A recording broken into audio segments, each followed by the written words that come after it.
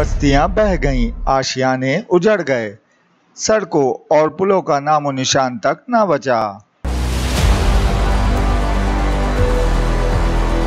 बलूचिस्तान में बारिशों ने तबाही की नई तारीख रकम कर दी।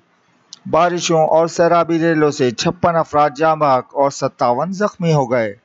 पीडीएमए ने अदादोशुमार जारी कर दिए।